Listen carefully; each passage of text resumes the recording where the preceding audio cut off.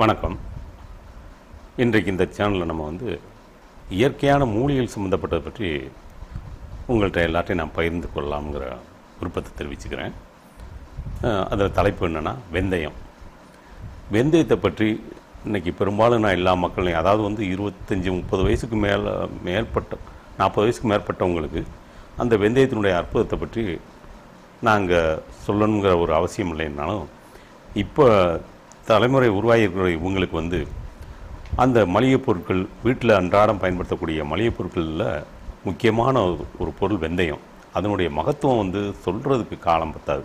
இப்படிப்பட்ட ஒரு அற்புதமான அது பலசரக்கில் வெந்தயம்ங்கிறது வந்து ஒரு மாமருந்து இயற்கையான ஒரு மருந்து.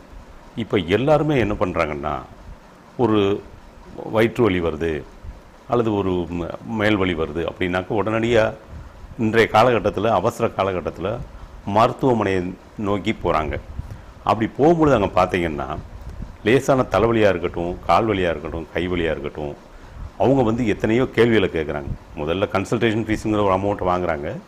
எத்தனையோ கேள்விகளை கேட்டுட்டு போய் ஸ்கேன் பண்ணுங்க. ஸ்கேன் பண்ணி கொண்டு வாங்க அப்படின்றாங்க.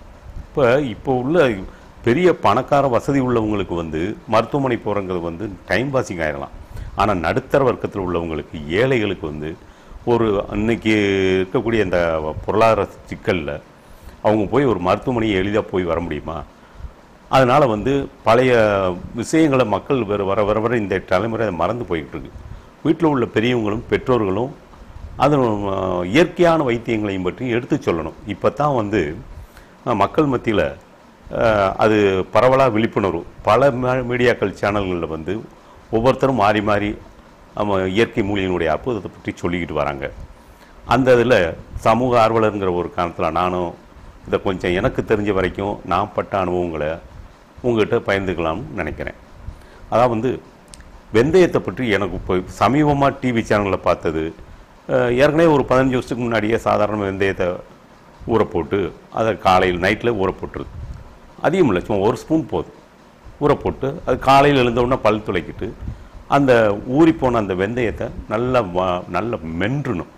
எல்லா பல்லும் படுற மாதிரி மென்று உமிழ்நீரோடு சேர்த்து உழுங்கிட்டு ஒரு டம்ளர் பச்சை தண்ணி குடிக்கலாம். இது என்னன்னாக்க நீங்கள் தினசரி வெந்தய தண்ணி சாப்பிட்டீங்கன்னா வெந்தயத்தில் வந்து முக்கியமாக இரும்பு சத்து அதிகம். இப்போ சுகருங்கிறது வந்து பதினஞ்சு வயசு பையங்களுக்கு கூட பத்து வயசு பையன் கூட சுகர் இருக்குன்னு சொல்கிறாங்க இந்த சுகருக்கு முக்கியமான என்ன காரணம்? நீரிழிவு நோய். சுகருங்கிறது நீரிழிவு நோய்.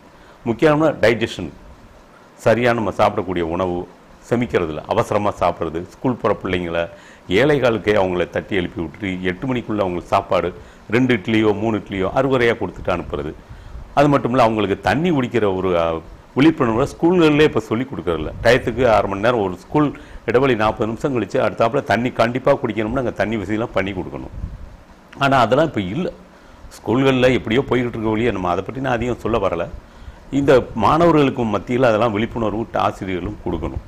இப்போ அது ஒரு பக்கம் இருக்கட்டும்.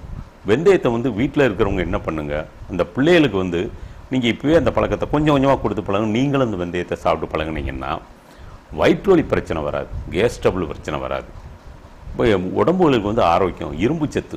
அதாவது இரும்பு சத்துங்கிறது வந்து அந்த ரத்த ஓட்டங்களுக்கு எவ்வளவோ முக்கியத்துவம் வாய்ந்தது. வெந்தயத்தை நீங்கள் வறுத்து பொடி பண்ணி சாப்பிட்டுக்கலாம். லேசாக ஒரு ஒரு ஐம்பது கிராம் வெந்தயம் வாங்க அல்லது உங்கள் குடும்பத்தில் எத்தனை உறுப்பினர்கள் இருக்கோ அதுக்கு தந்தபடி ஒரு நூறு கிராம் வெந்தயம் வாங்குங்க. இப்போ அது பொன் வறுவலா. அதாவது கரு கரு அது கரு அந்த வெந்தயம் வந்து கசக்கிற அளவுக்கு கருப்பான நிலைமை வர மாதிரி வறுத்துறாங்க. லேசான வரவில் என்ன அந்த எண்ணெய் சட்டியில் போட்டு வறுத்துக்குங்க. வறுத்துட்டு ஆற பிறகு மிக்சியில் போட்டு பொடியாக்கி அது ஒரு கண்ணாடி பாட்டிலில் நீங்கள் தட்டி வச்சுக்கோங்க. காலையில் எழுந்த உடனே என்ன பண்ணலாம்னா நீங்கள் பல் துளைக்கிட்டு உங்கள் சுத்தம் பண்ணிக்கிட்டு ஒரு ஸ்பூன் போட்டு தண்ணி குடிச்சிக்கலாம். அந்த பழக்கத்துக்கு வாங்க. வாரத்தை தினசரி போடலனாலும் பரவாயில்ல. வாரத்தில் ஒரு மூணு நாள். அல்லது உங்கள் வீட்டில் இருக்க பிள்ளைங்களுக்கு சனி ஞாயிறு எப்படியும் அன்னைக்கு லீவு இருக்கும். இல்லை லீவு காலங்களில் கொடுத்து பழகுங்க. அதே மாதிரி ஒரு தோசையை தயார் பண்ணாலும் வீட்டில் ஒரு டிஃபன் தயார் பண்ணாலும் அந்த தோசை மாவில் வெந்தயத்தை சேர்த்து அரைக்க பழகிக்கிங்க. இப்படி இயற்கையிலே இந்த மாதிரிலாம் நீங்கள் வந்து உங்கள் குடும்பத்தில் பிள்ளைங்களுக்கு நீங்களும் இந்த வெந்தயத்தை நீங்கள் பயன்படுத்துனீங்கன்னா அது நோய் நொடிகள்ங்கிறது அதுவும் வராது. மருத்துவமனையில் போய் நம்ம கொண்டு இதுக்காக அதிக செலவு பண்ண வேண்டியதில்லை. நான் சொல்லித்தான் தெரியுங்களே இன்றைக்கி நீங்கள் காய்ச்சல்னு போங்க. ஒரு ஆஸ்பத்திரி நோக்கி நீங்கள் போனீங்கன்னா என்ன ஆகும்? அப்புறம் உங்களை அரை மணி நேரம் எல்லா கேள்வியும் கேட்டுட்டு கடைசியில் ஸ்கேன் எடுத்துவாங்கன்னு இருப்பாங்க ஸ்கேன் எடுத்து வந்த பிறகு தான் என்ன பாதிக்கப்பட்டிருக்கு என்ன நோயின்னு நான் கண்டுபிடிக்கணும்னு இப்போ உள்ள டாக்டர் சொல்கிறாங்க இப்போ நாங்கள்லாம் ஸ்கூலில் படிக்கிற காலத்தில் பத்து வயசுலா இருக்கும் பொழுது கவர்மெண்ட் ஹாஸ்பிட்டல் தான். எல்லாம் காய்ச்சல்னு போனால் ஒரு இன்ஜெக்ஷன் போடுவாங்க ஒரு டேப்லெட் கொடுப்பாங்க. அன்றைக்கே காய்ச்சல் போயிடும் இப்போ அப்படி இல்லை. டேப்லெட்டுக்கும் இன்ஜெக்ஷனுக்கும் ரெண்டாயிரம் ரூபா கொடுக்கணும். அன்னைக்கு வந்து எதுவுமே இல்லை. கவர்மெண்ட் ஹாஸ்பிட்டல் வந்து ப்ரைவேட் ஹாஸ்பிட்டலில் கூட ரெண்டு ரூபா ஊசிக்கு வாங்குவாங்க அல்லது ஒரு ரூபா வாங்குவாங்க. மா மாத்திரைங்கிறது ஃப்ரீயாக கொடுப்பாங்க. அதனால் நீங்கள் வளர்ந்து வர்ற இந்த பொருளாதார சிக்கலில் கஷ்டப்படக்கூடியவங்களும் நடுத்தர மக்களும் நீங்கள் முற்கால இது ஒரு ஒரு நாற்பது ஐம்பது வருஷத்துக்கு முன்னாடி உள்ள அந்த சிஸ்டத்தை பெரியவங்க சின்ன பிள்ளைகளுக்கு ஸ்கூல் போகிற பிள்ளைகளுக்கு பழக்குங்க. நல்ல எக்ஸசைஸ் காலையில் எழுந்திரிச்சணும் சுறுசுப்பாக பிள்ளைங்க இருக்கணும். இது பண்ண இதுக்கெல்லாம் வந்து இயற்கையான வழியில் போகணும் கொஞ்சம் பயன்படுத்திக்கங்க. இப்படி போனால் இந்த தலைமுறை வந்து இப்போ இருக்கக்கூடிய தலைமுறை பின்னாடி நல்லாயிருக்கும் வெந்தயத்தை பற்றி அற்புதமான விஷயங்களை நம்ம கலந்துக்கிட்டோம். அடுத்த வீடியோவில் இன்னொரு மூலிகை பற்றிய மகத்துவத்தை நான் சொல்கிறேன் நன்றி வணக்கம்.